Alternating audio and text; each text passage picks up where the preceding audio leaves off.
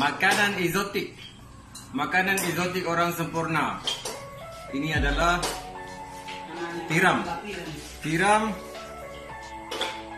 yang telah dicabut daripada kubah.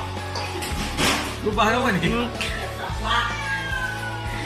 Dan Cengkerang, cengkerang. ah, cabut daripada cengkerangnya lepas tu kita terus makan.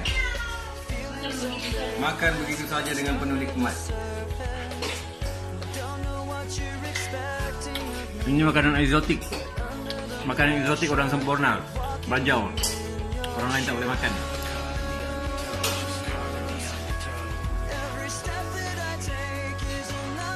Yeah.